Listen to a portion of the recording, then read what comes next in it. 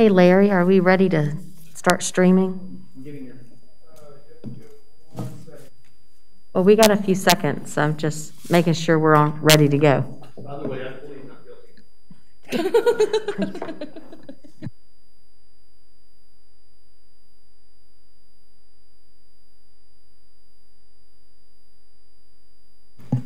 Okay, it's five o'clock. Just let us know when, uh... Okay. Miss Loop, you're taking this one?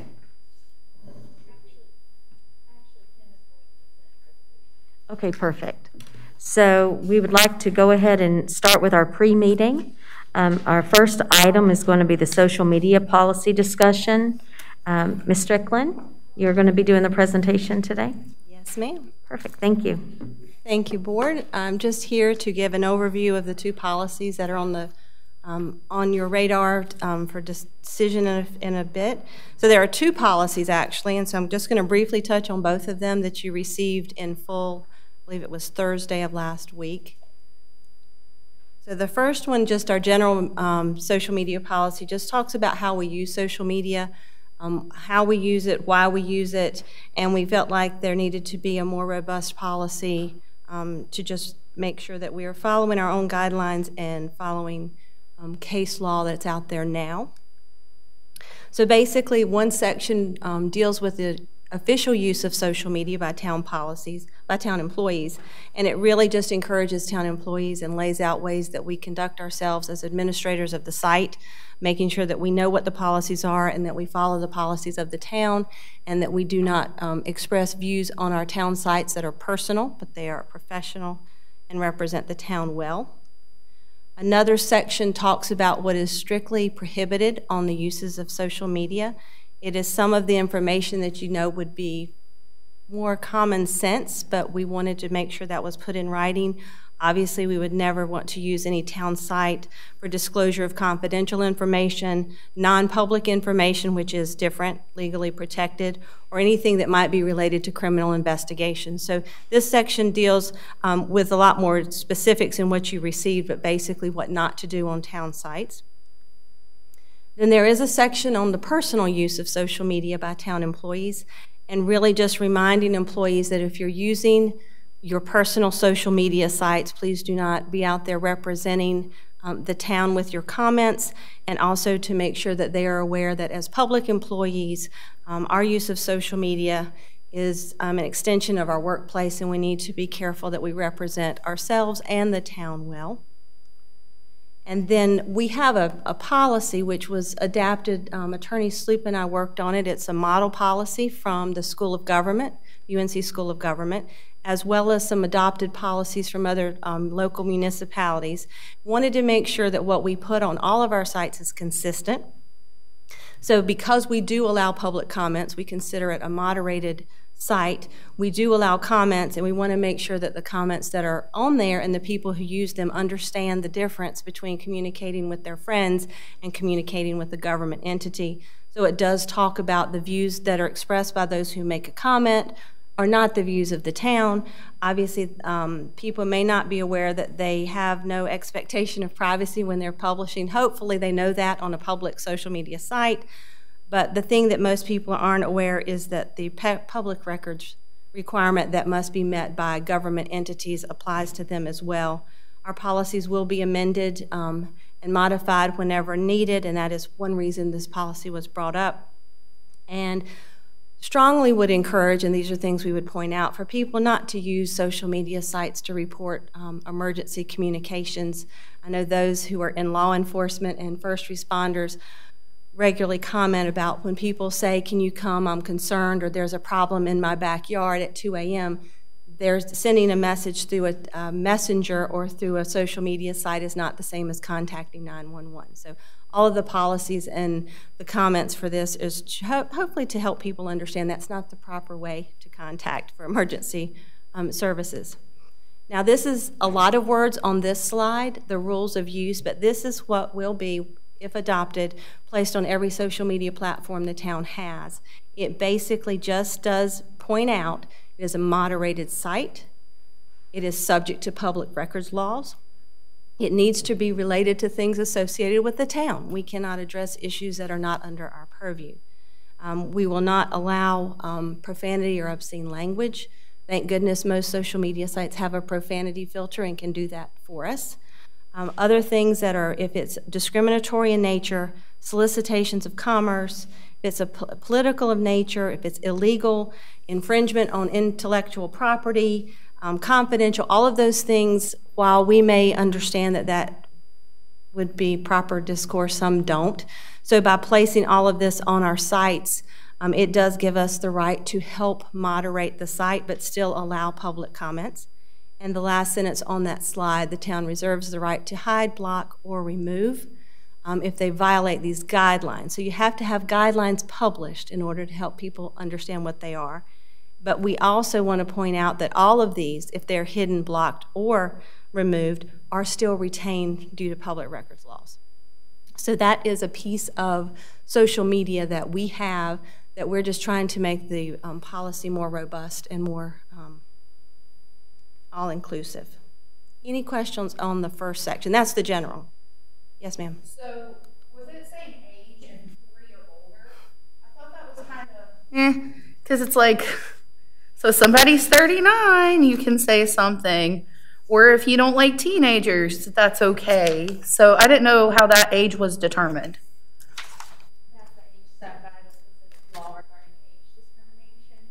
Agree that it's not good to discriminate against someone regardless of their age, whether it be young age or old age. Could we just change it to say age? If the town directs us to, we could make that change. Town board. Yes, sir. Thank you, Kim, for your presentation. It was, was well uh, presented. I appreciate the information. I have two questions. Uh, when you were going over the uh, transferring of information from like law enforcement and calling 911, like the, we had a case today, police put out, you know, we got a tree down on Mm-hmm. Hambright, and you know, I picked that up and I put that out socially. Is that can we continue to do that? Yes, sir. And my follow-up question is, your last sentence is here: the town reserves the right to hide, block, and remove comments. Who's the person that monitors that? Actually, it would fall to me Okay. part of the policy, um, as the administrator of the policy. Any, if it was a legal question, obviously I would refer to our legal staff. But um, the guidelines that are put in place, because it, I will talk more about the, the elected officials policy, but what is, it's not appropriate for a moderated site for a government entity is to delete people because they disagree with you. And so by putting the guidelines in place, it allows us to say we can do certain things if you don't meet these guidelines, but we still hold everything due to public records so that we're in compliance with North Carolina law. Kim, if you don't mind, I would like to reiterate that we did take these rules of use from a model policy that the UNC School of Government put forth. So when we're deciding on what will be hidden, blocked, or removed, it's based off of what's listed here, if it falls into any one of those categories, not if it's disagreeing or anything Yes. like that? Okay. Anyone else have any questions, comments up to this point? Okay. Okay, so moving forward with a different policy, and this, when we say public officials, this is for town board, appointed commissions, committees, any um, group that is representing the town of Huntersville. So this is slightly different, but again, an overview. You received the full policy last week. So the top three risk areas for public officials, there should be no surprise on some of those um, items up there. Just want to say within the last, I would, mm, maybe four years, there's been quite a bit of case study on First Amendment and um, viewpoint discrimination. So there's some case law out there now that there did not used to be. So for an elected or a public official, it's very important that if you maintain a social media account, that you are prepared for the disagreements that come with that, and that you do not um, do some, that you don't hide or delete things because you disagree, or, or as engaging with the public, You're going to obviously not um, maybe see eye to eye on everything, but there's some pretty strict case law now, and there have been cases that have been settled um, involving governors, board members, well, as well, U.S. presidents, um, where there have been some issues with social media just because of um, removing content or saying content hasn't been there. So there is case law now, so that just please, as a reminder, as an elected official or as a public official, that um, you have to be aware of that people have the First Amendment right to, to state things, um, and so be prepared for that. Um, the second one is more, it's the burden of staff, but anything that you do in social media, because it is still a communication of town business, is a public record. And that's really been pushed and enforced more lately. So we just, part of this um, policy is just to make you aware that what you do on social media is also a public record. It is no different than you emailing a staff member or emailing someone, a constituent, someone in the area. And then I, I don't think I need to explain number three, but I will just say you're entitled to your political views, but reference point one on that one, just so. Okay, so from a staffing perspective, we're more concerned with this slide. Now, of the six that are up there, while I think most of them are, are very self-explanatory, um, two definitely, I think the privileged and confidential information and the conflicts of interest you're well aware of. So I'm only going to touch on four of them with just a little bit more detail. Um, mainly public records law. So anything that you do as an elected official or an appointed official for our other boards, whether it's from a personal account, a professional account, as part of um, communication of a planning board or any of the other, if you are communicating, it is by the state of North Carolina determined to be a public record. So this policy, again, is designed to help um, with the boundaries of that. But so you should assume that anything that you do, whether it's your personal account or professional account, are public records and they're subject to inspection according to North Carolina public records law. This one, hopefully we won't have an issue with, but sometimes you have to have an issue before you realize there's an issue. And this one municipality did have this issue, so we included it in the policy. Please be mindful that if you post something on social media and those who sit on the dais with you, or whether it's another commission appointed or elected, and you engage in a conversation about that social media post, you're in essence part, having a meeting. And so you have to be careful that you don't draw the quorum and basically violate open, open meetings law. So just some things that, again, probably would not happen, but we're trying to be very inclusive and robust with this policy in hopes that there would not be an issue. So if one elected official were to post and three others were to comment on it, um, it would be something that the town clerk would have to get involved in because it possibly could be a violation of open meetings law. A Quick question in regards to that. So if if a, someone makes a post and you get three of us who may like said post, That's the gray area for the attorney. okay, And I would suggest not going down a slippery slope and avoiding that altogether. Um, I would like to backtrack, though, Kim, on one of the previous slides, if you'd go back. Just want to make sure that you understand that if you are posting, the post would have to relate to town business to actually become a public record. So if you are posting on social media purely in a personal nature, not about town business, not about your role as a board member, then it wouldn't necessarily become public record. Of course, we look at everything on a case-by-case basis. I just wanted to point Yes. that out. And it would also relate to the next slide, which we were on, regarding open meeting laws. If you and, and another commissioner are talking about something that has nothing to do with town-related business, and you like a post, you like their vacation picture, for example, that's not necessarily going to be something that could violate open meetings law. Yes, it did, would need to be town-related matters. And this one, um, it's just strong, it's, it's best practices um, for public officials, strongly encouraged to have separate accounts. You do not have to, but again, best practices suggest that you do have separate accounts.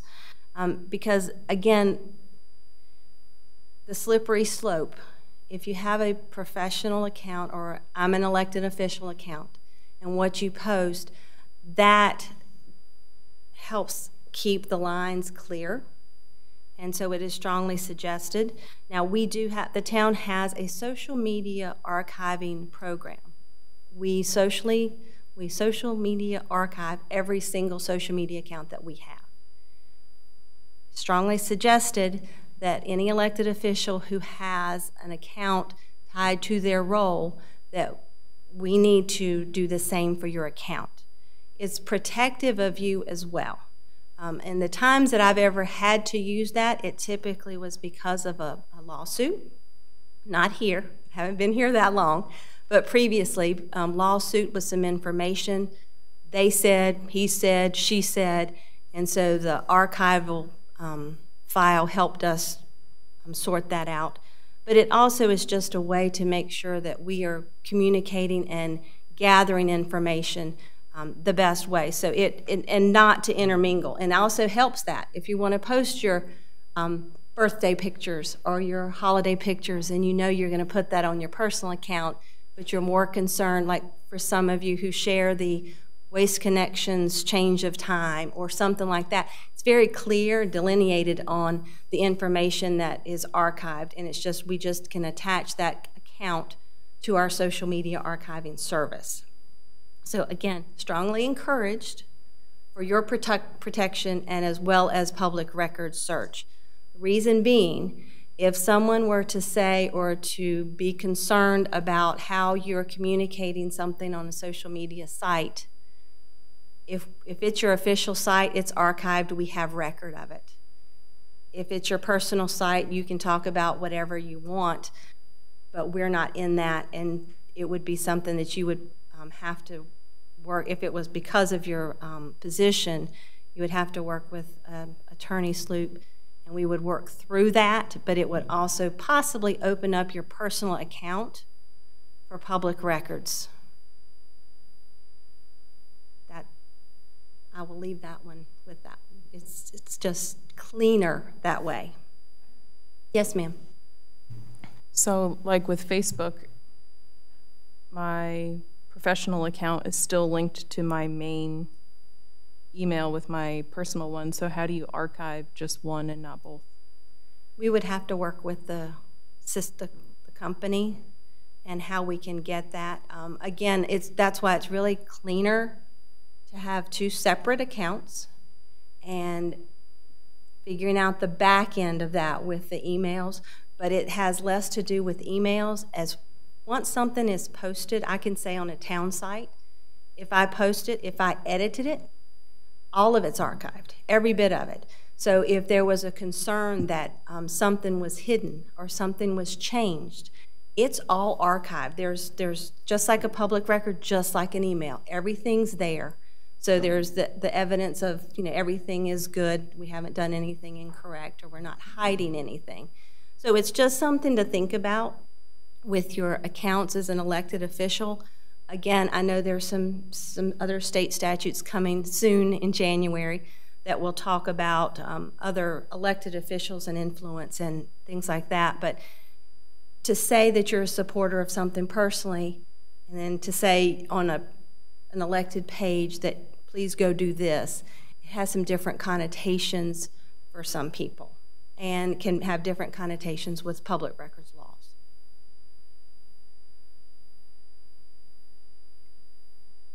Yes, sir. Yeah. Um, I have a couple questions. On Facebook, you have the ability to restrict comments altogether and make it so no one can comment. I figure, in my opinion, that's equal opportunity offender, so we're okay there?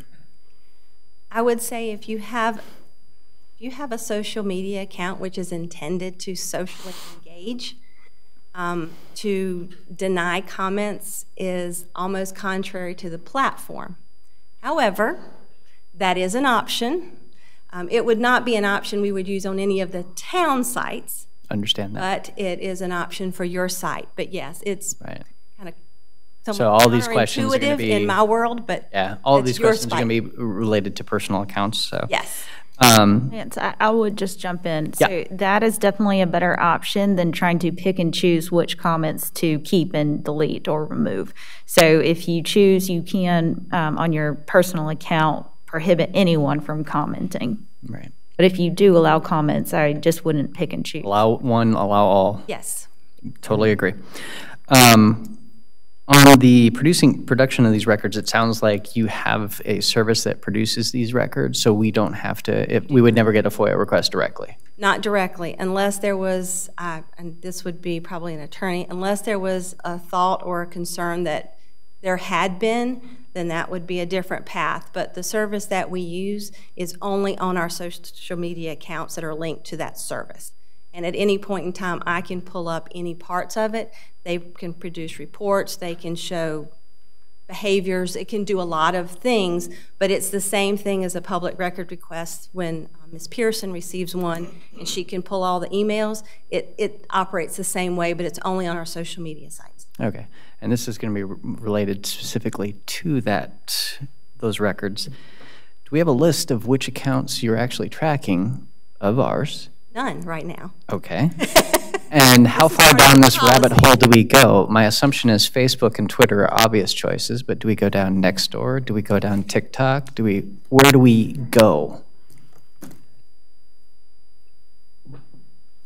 Depending on what the content is, all could be subject to public records request.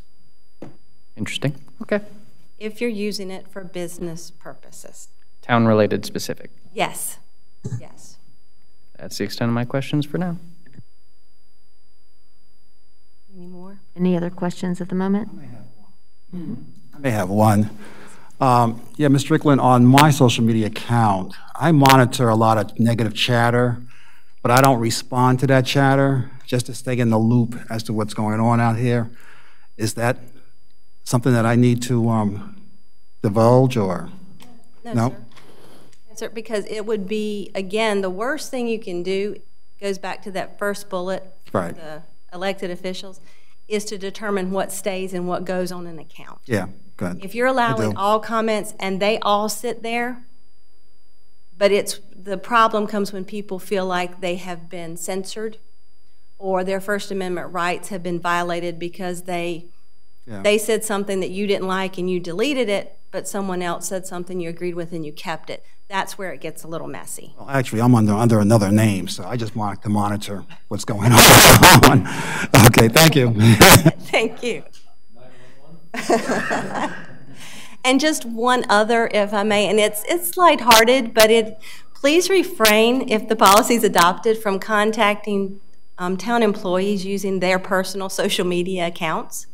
Um, I know sometimes you may not have a direct text number, or you have a question about something. This, I would say in my previous employment, that was one of the questions, what's going on here?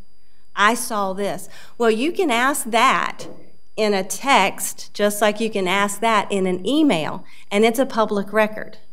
If you ask that question on a social media account, it's a public record. So it, it doesn't change, it's just sometimes we go to an easy way to reach people or how we might want to reach someone after hours, or I'm, so I'm friends with them on Facebook and I want to send them a quick message. Well, basically, you are asking an employee a town-related business question. So it's best to, or if someone were to ask you a question on a social media account, it's best to just say, please contact and then they can tag us. If they're social media savvy, they know how to do it anyway. They can tag the town, and we can respond, or you can send us an email if it needs a public response, and we will gladly send the information for you to share if we haven't already shared it. But it's really easy to just say, I, you know, I really need, I wonder why that pothole is still here. Well, if you're going to ask the question of our Public Works Director, feel free to email him because it's a public record. Texting is a public record.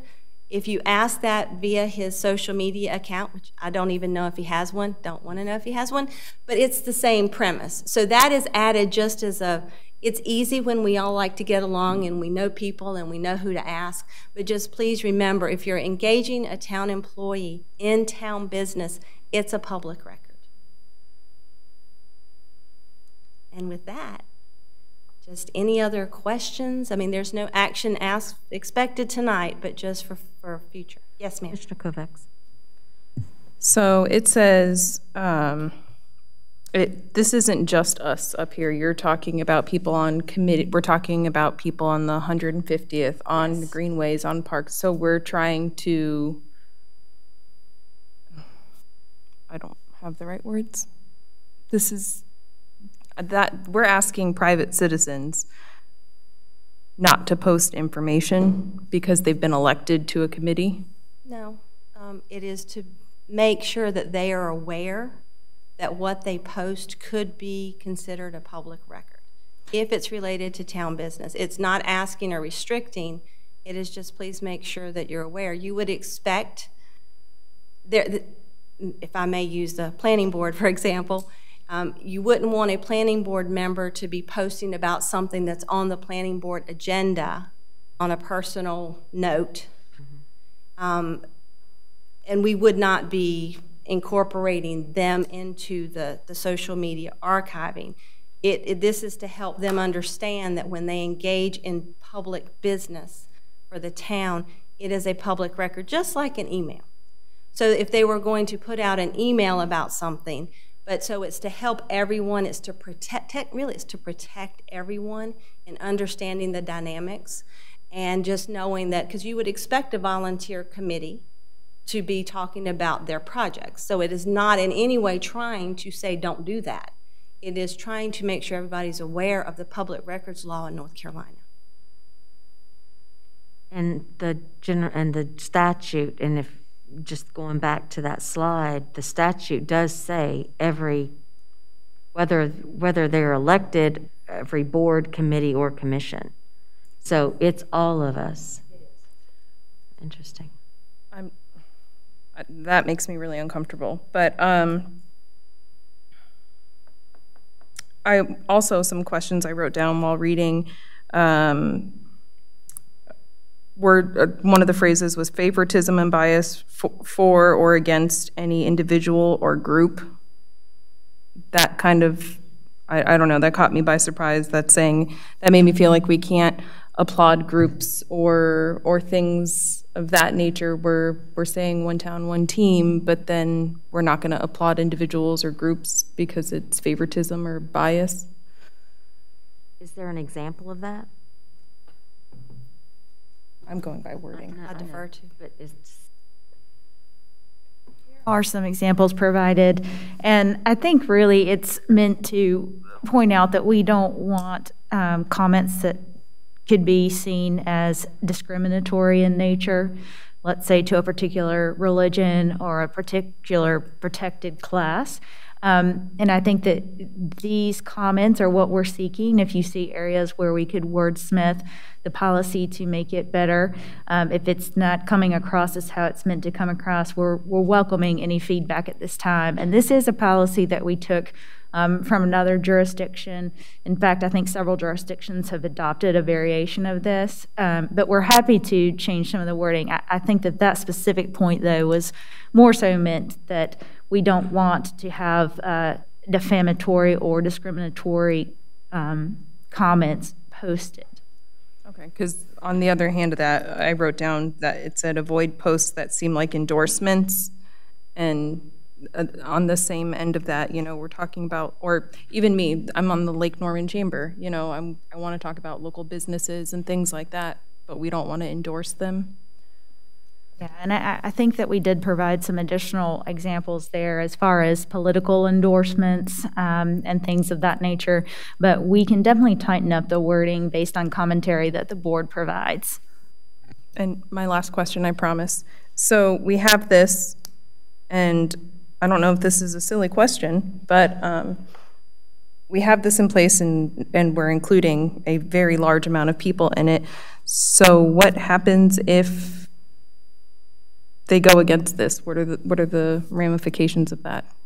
Well, on, on the slide that's up there right now for public records law, we actually listed it as, instead of, um, we talk about an account created for the board committee. So for example, the downtown, if there was a social media account created for the downtown plan versus all the individuals on the downtown plan, they're volunteers, um, but they are appointed or they are selected, some are voted. Um, one of the struggles is trying to find that area, and that's why we wanted to present it, to discuss it, to tweak it.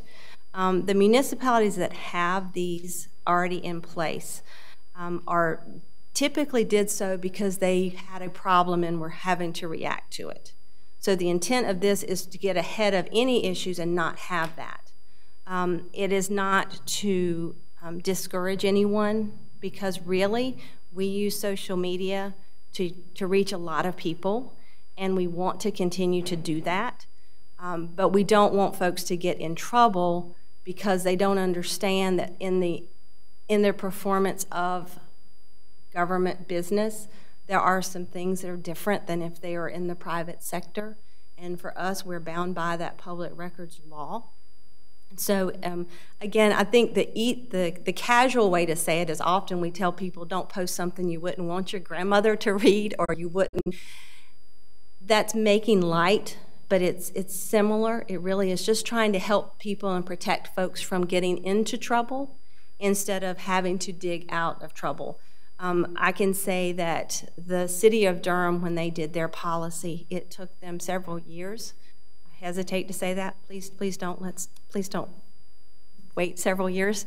But they were in the middle of some angst when they were trying to create their policy.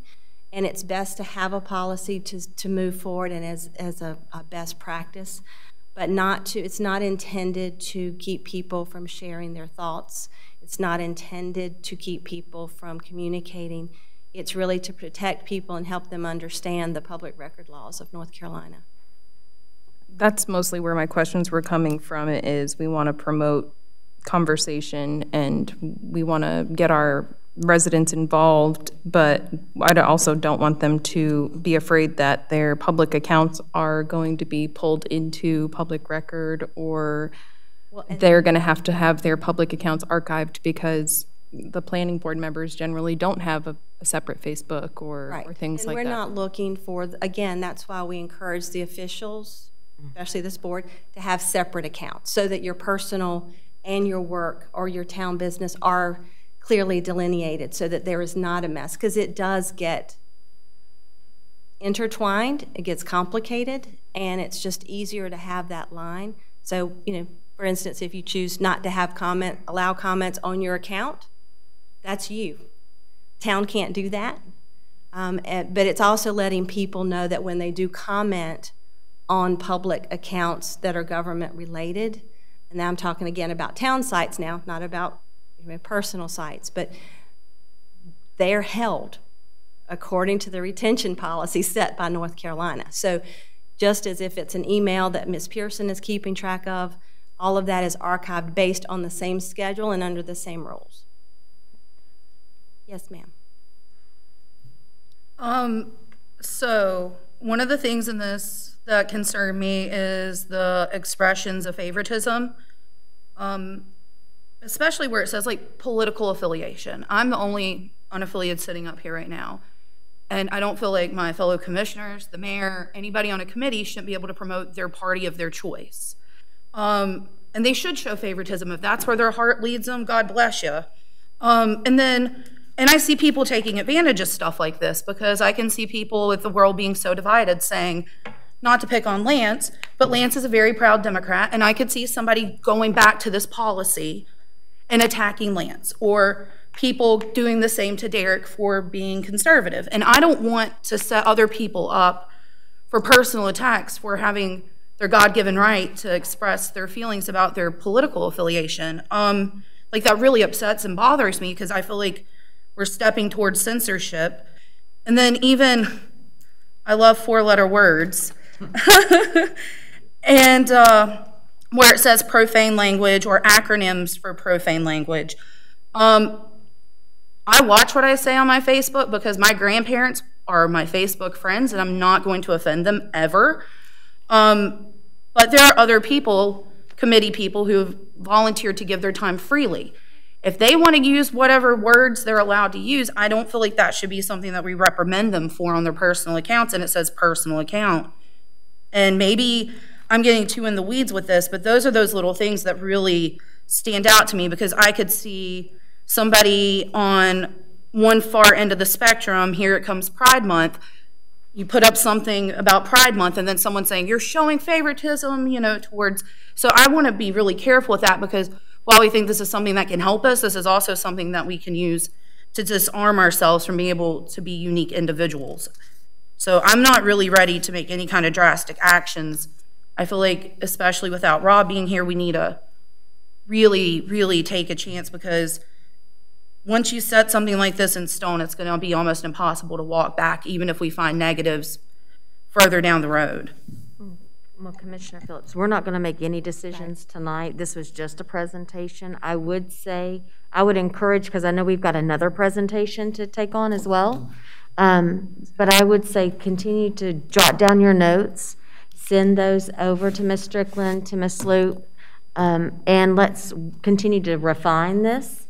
Um, This doesn't ha, need to happen tonight, it doesn't need to happen the next meeting, but we do need to at some point solidify some things. Um, So nothing tonight, but I mean, it's really more of our first glimpse into this, um, and I think that's a lot to unpack. Yes. And, uh, Remember, there are two separate policies. So how we use and what we can use, what we can say on a town site is different what you can say on your personal sites. The profanity and stuff gets blocked coming in, but we also would not use it on a town site going out. So please know that there is a definite distinction between how we use a town site versus how you can use your personal site or your professional site. Certain things we would never, we wouldn't do. so let me ask this quick question, because I know Commissioner Phillips brought up, um, where was your line? Um, Favoritism and political affiliation. Um, If you're promoting your political affiliation on your own personal page, that has nothing to do with the town, correct? It's if you have a um, commissioner page that is, that's where you do your town business and where you're promoting town, town events, town policy, that's where you would not want to do that. That's the delineation, I would, correct? I would say, and I have to defer to the legal because she's shaking her head. I would say it's a bit more, I don't think there's anything wrong with that. You both, you, everyone that's elected have their beliefs, you have your platforms, you have all of that, and you should not lose that just because you're elected and you're on a social media site. The, most of the details that are listed in that policy are for town sites and how we use our sites, not how others use the sites. Because it's, you should not have to put some things out there. It depends upon which portion, portion you're looking at. Let's continue to, Yes. let's just go ahead and, and table the, this unless there's any additional co- uh, conversation I, I at have the moment. one. Yes. Um, the, the first policy went over. Yes. HR, are they involved with this? They were. Okay, cool. And that's actually where the age specifics came from. But this one doesn't have the age like in a like a demographic, so that's why I was like, huh? It was a protected class. Okay. That's why. That actually came, several pieces came directly out of the existing personnel policy for the town. So they were involved, yes.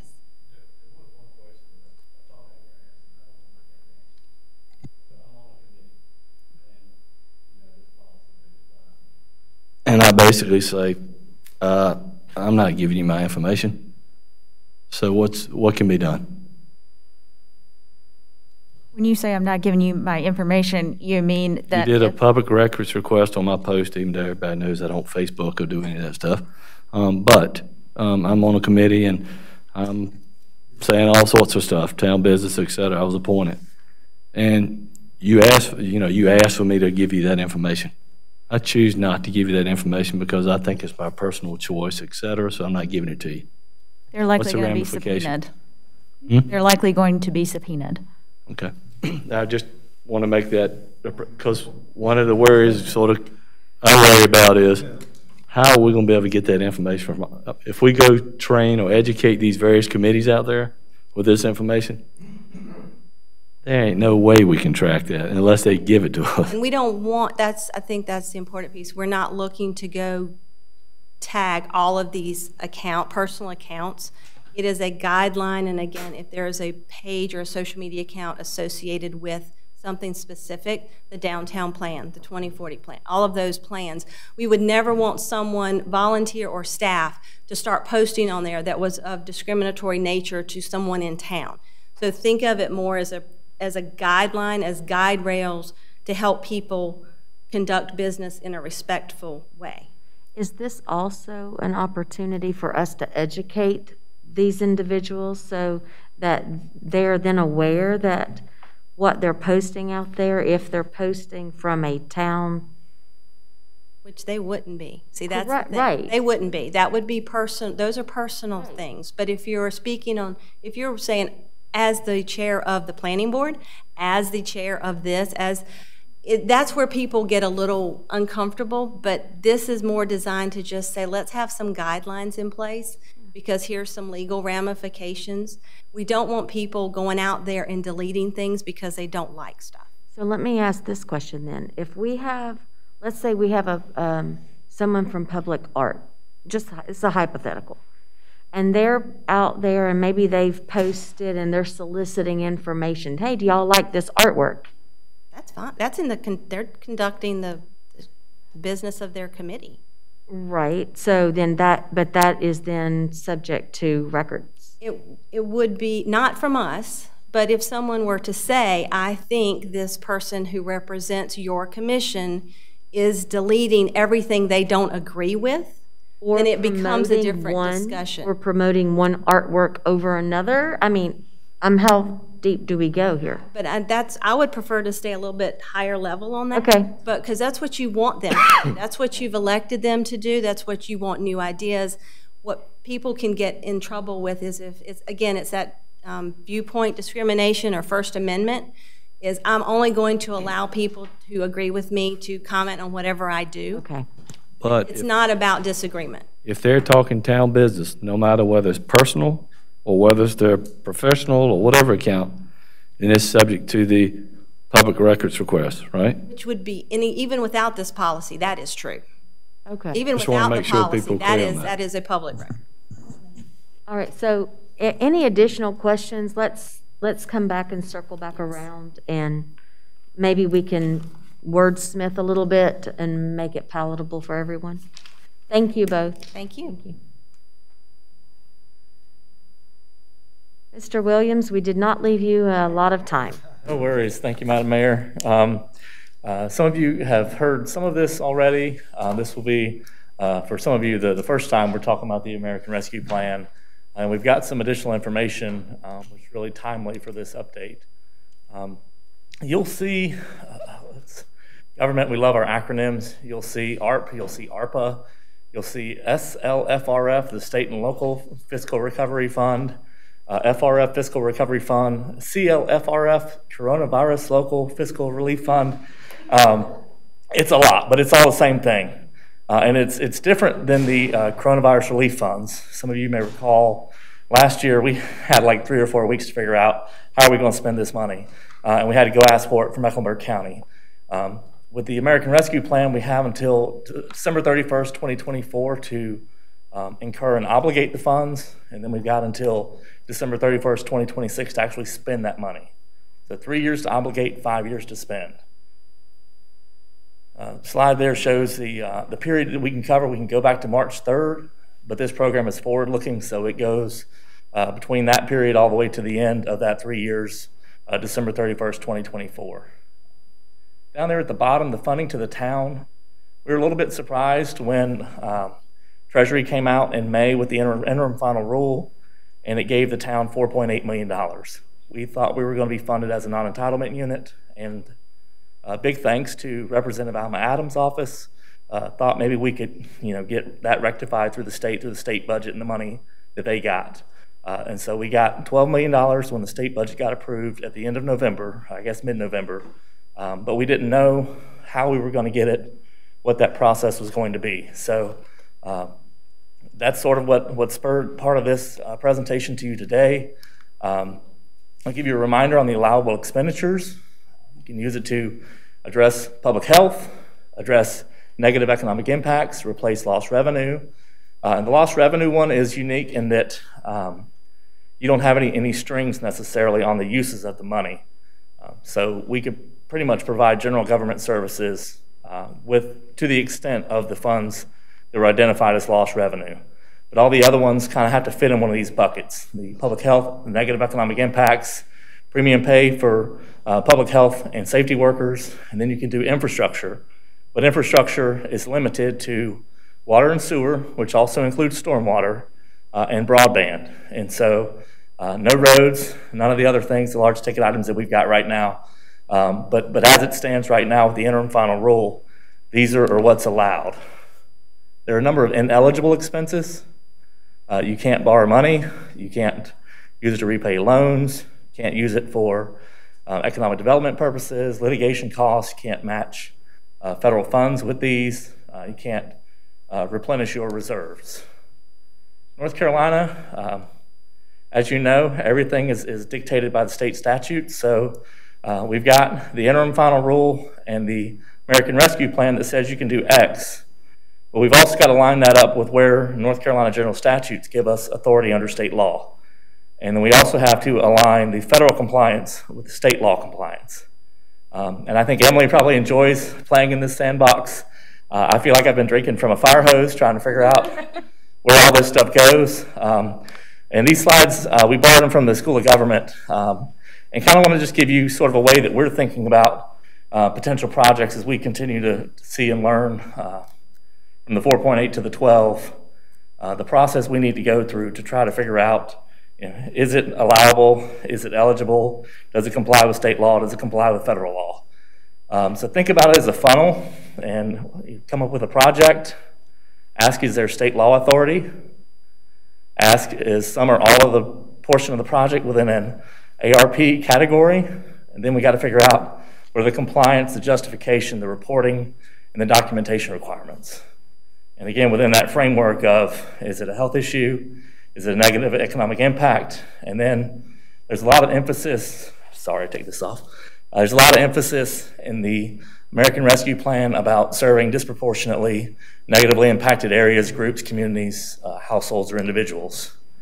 Um, this is a slide from the School of Government. They have done a, a great job trying to train us all up on, on this legislation, uh, especially as things have evolved and changed since the summer. Um, and you see there the, the broadest state law authority kind of applies to things like our facilities. We can go and we can update our facilities to be more um, COVID friendly or more um, resistant to spreading disease. Uh, community programs, your households and individuals. As you get towards the top in terms of services we can provide to small businesses and nonprofits and broadband, a lot more limited in your state authority. Uh, allowable costs must be reasonable and necessary, um, allocable and consistent treatment. So like costs must be treated consistently. Um, and that, that comes out of uniform guidance. Last year, uh, uh, some legislation was passed that uh, required updates to uniform guidance, which we're in the process of updating right now. Um, but you know, there's a lot to uniform guidance. I'll skip ahead real quick and I'll go back. Uh, but uniform guidance, um, and Emily is working on a number of policies to bring you um, not only updating that existing um, uniform guidance policy, but also other things like if we sought to hire a consultant or some other assistance to help us, we would need a policy to um, govern the HR side of, uh, of that assistance. Um, and a number of these you'll probably see in the coming weeks um, and certainly hear more about at our upcoming uh, planning workshop. Um, but we've got to we've got to update our tools in our toolbox to make sure that we've got everything that will govern our procurement compliance and the documentation that will be required. Um, so uh, I'm sure you guys have gotten hit up by residents and, and, organizations that are curious about how we might be spending our money. Um, and, and so when you're thinking about it, whatever we spend has to fit into one of these seven expenditure categories. So public health, negative economic impacts, services to disproportionately impacted communities, premium pay, infrastructure, revenue replacement, or administrative costs. Bobby, um, I just wanted to jump in for one second uh, and point out, I think you had noted this on a previous slide, but even if it is something that's allowable at the federal level per the interim guidance and even the final guidance that comes out, it doesn't necessarily mean that we have state law authority to spend money on it. Now, I also wanted to point out, um, you do list here as number three, services to disproportionately impacted communities. Unfortunately, we do not have any qualified census tracts, which would allow us a presumption to say that that cost is eligible, presumptively so. So we would have to come up with very thorough documentation to show that it is in fact eligible, lacking those qualified census tracts. We, we do, um, we do have the ability to define a geography, uh, but we do have to put some data to represent um, how we're making that determination. I mentioned lost revenue. The interim final rule spells out how you calculate that.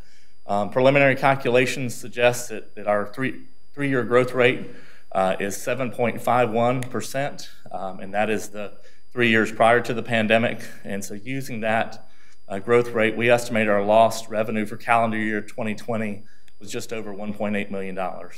And so that $1.8 million um, would get broad latitude in how the board could use it, how the town could use it. Um, you know, we still couldn't do any of those things that were ineligible on the previous slide. Um, but we could use it for general government services. The only caveat there is you still have to use uh, your uniform guidance. You still have to play by the same rules uh, for the use of the funds, and then we also have to be able to report back to the Treasury that we're not using those funds for any of the ineligible items. Uh, I mentioned before, no rush to spend the funds. Um, just kind of looking ahead, um, we're still waiting on a final rule. Uh, we thought we might get that before the end of the year. Um, it's been updated a couple of times, but uh, not since November uh, have we seen any change on that. Um, before the end of the, the 2021, there was a Senate bill that had bipartisan support that passed. It would aim to increase flexibility on what's treated as lost revenue, so you could use funds for um, other infrastructure projects like roads and, and, other things, and knowing that we've got a $100 million capital improvement plan, you know, I, I figure that's something that you guys would uh, definitely want us to continue watching. It is in the House. It does have over 100 um, sponsors on both sides, but it has not um, to date gotten on a calendar for any type of, of action.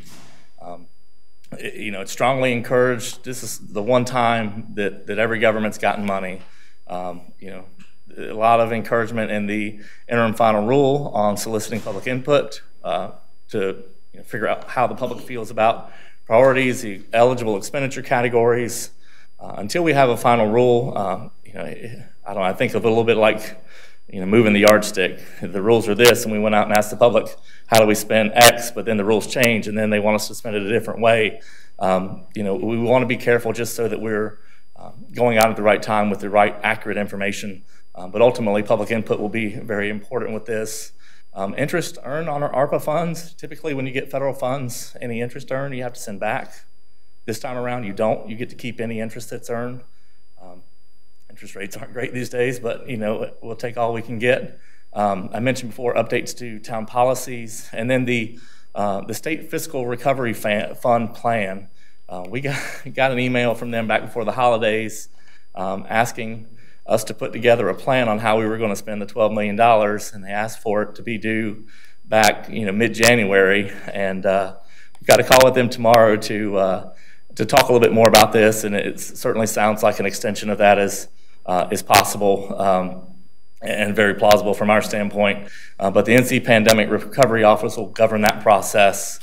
Um, and so here, just kind of note the the, the timing that they, they gave us. And I'm not going to go through all of these, but I wanted just to give you kind of an idea of what they're asking us for. Um, and this equates to um, what the larger cities and the other states have been asked to give uh, in terms of recovery plans to the U.S. Treasury in order to get their funds. So um, they, they, want an overview of each project that we might be thinking of, a description of that project, how it addresses that those framework items that we mentioned, uh, projection of, of, quarterly spending, timeline for doing so, partners, um, if the, the project is serving an economically disadvantaged community, um, and then again, the, the assumptions there that Emily alluded to, um, we do not, we did, as of 2010 or 2020, we did not have any qualified census tracts. So that um, limits a little bit of how that, that broad span of activities could be um, utilize, but um, we've been sort of brainstorming other ways to, to try to work around that.